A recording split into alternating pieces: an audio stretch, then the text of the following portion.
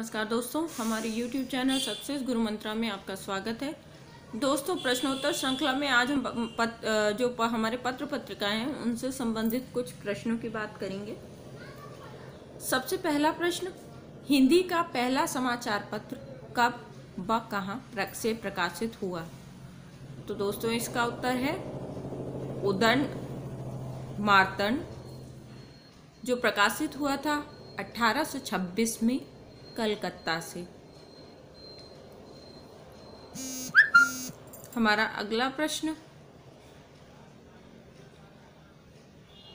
उदंड मारतंड साप्ताहिक पत्र के संपादक और मुद्रक कौन थे? उद्दंड मारतंड साप्ताहिक समाचार पत्र के संपादक और मुद्रक कौन थे? इसका उत्तर है बाबू जुगल किशोर शुक्ल। कानपुर के निवासी थे ये।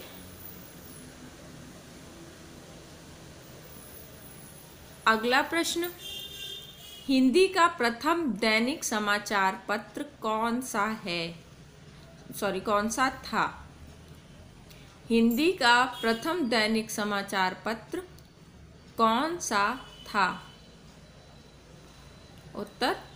सुधावर्षण, समाचार सुधावर्षण, हिंदी का पहला समा, दैनिक समाचार पत्र था।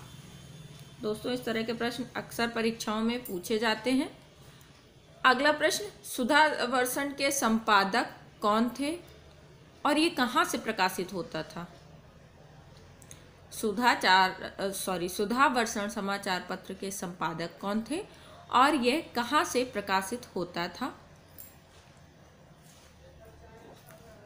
इसका उत्तर है सुधा वर्षण के जो संपादक थे वो श्याम सुंदर सेन जी थे और ये कलकत्ता से ही प्रकाशित किया जाता था। अगला प्रश्न। भारतेंदु जैसी रचना शैली तथा भाषागत विशेषताओं के कारण किसे प्रतिभारतेंद्र या द्वितीय चंद्र कहा जाता था? भारतेंदु जैसी रचना शैली तथा भाषागत विशेषताओं के कारण किसे प्रतिभारतेंदु या द्वितीय चंद्र कहा जाता था? इसका उत्तर है प्रताप नारायण मिश्र को। प्रताप नारायण मिश्र को भारतेंदु जैसी ही शैली तथा भाषागत विशेषताओं के कारण प्रतिभारतेंदु या द्वितीय चंद्र भी कहा जाता था।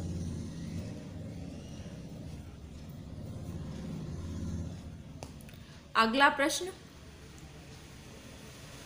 संस्कृत तथा हिंदी के प्रचार प्रसार हेतु श्री वेंकटेश्वर समाचार पत्र का प्रकाशन कब व कहाँ से किया गया? हिंदी तथा संस्कृत के प्रचार प्रसार हेतु श्री वेंकटेश्वर समाचार पत्र का प्रकाशन कब व कहाँ से किया गया? तो दोस्तों वेंकटेश्वर समाचार पत्र का प्रकाशन बंबई से किया गया था 1871 ईस्वी में।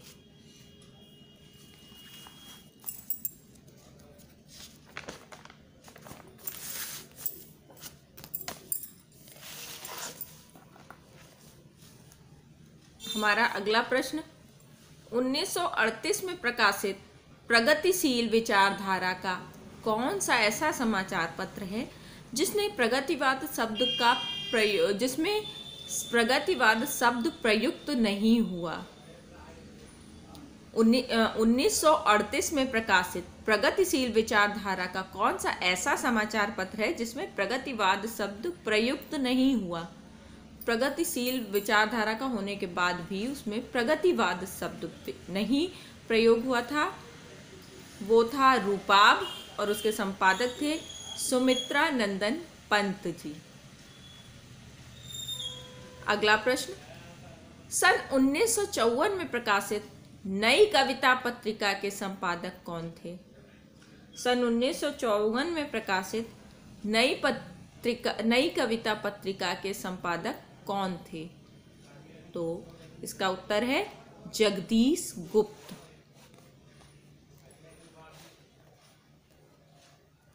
दोस्तों, आप कमेंट में उत्तर लिख के बिल्कुल नहीं भेजते हैं। उत्साह नहीं दिखाते हैं, कैसे मतलब आप लोग सुनते हैं। उत्तर लिख लिया करिए, आपको खुद चेक हो जाएगा। यहाँ पे कोई ऐसी बात नहीं कि गलत उत्तर हो जाएगा तो आपके परीक्षा में नंबर कट जाएँगे। अपने आप को चेक करिए। और कम से कम ये तो बताइए कि कितने किसके प्रश्न सही हो रहे हैं, ताकि प्रश्नों के स्तर का मुझे अंदाज लग सके। और वीडियो पसंद आए तो एक लाइक ज़रूर कर दिया करिए। अगला प्रश्न हिंदी समालोचना के सूत्रपात के लिए किस सॉरी हिंदी समालोचना के सूत्रपात के लिए भारतेंद्र युग की कौन सी पत्रिका उल्लेखनीय है? दोस्तों, इस तरह के समाचार जो प्रश्न होते हैं, वो अक्सर पूछे जाते हैं। ये घुमाने वाले प्रश्न हैं। हिंदी समालोचना के सूत्रपात के लिए भारतेंद्र युग की कौन सी पत्रिका उल्लेखनीय है? इसका उत्तर है आनंद कादिम्बनी। समालोचना के सूत्रपात के लिए जो पत्रिका उल्लेखनीय है, उसका नाम है आनंद कादम्बनी। आनंद कादम्बनी पत्रिका के संपादक कौन थे? तो दोस्तों, आनंद कादम्बनी पत्रिका के संपादक बद्री नारायण चौधरी प्रेम धन जी थे। बद्री नारायण चौधरी प्रेम धन जी थे। अगला प्रश्न, आलोचना नामक प्रसिद्ध समीक्षा पत्रिका के संपादक कौन थे?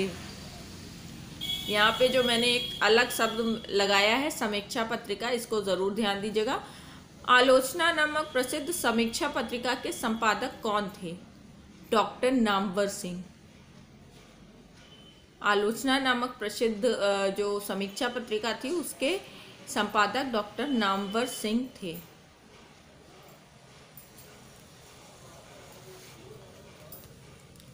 अगला प्रश्न, भारतीय भाषा परिषद कोलकाता कोलकाता द्वारा प्रकाशित पत्रिका है। भारतीय भाषा परिषद कोलकाता द्वारा प्रकाशित पत्रिका है, वो है वागार्थ।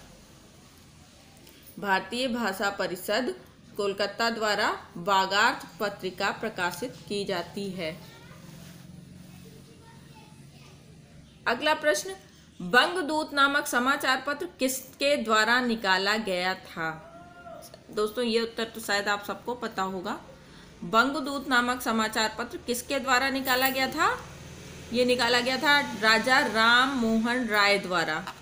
बंगदूत नामक जो समाचार पत्र था, वो राजा राम मोहन राय द्वारा निकाला गया था। दोस्तों, उम्मीद करती हूँ कि आपको आज के जो प्रश्नोत्तर थे, ये पसंद आए होंगे।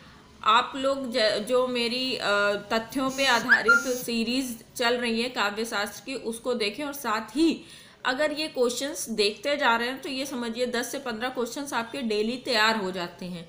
डिटेल आप पढ़िए, लेकिन डिटेल पढ़ने से कई बार कुछ चीज़ें छूट जाती हैं जो हमारे ध्यान में नहीं जाती हैं। इस तरह के अगर हम सुनते हैं प्रश्न तो वो हमें ध्यान बने रहते हैं। ये हमारे लिए बहुत उपयोगी होते हैं परीक्षाओं में। तो दोस्तों, उम्मीद करती हूँ कि आपको आज का वीडियो पसंद आया होगा। अगर आपको पसंद आया होगा तो प्लीज़ लाइक कर दीजिएगा। और अगर आपने अभी तक हमारा चैनल सब्सक्राइब नहीं किया तो इसको सब्सक्राइब कर लीजिए। ये आपके हिंदी परीक्षाओं के लिए बहुत ही उपयोगी सिद्ध होगा। नमस्कार।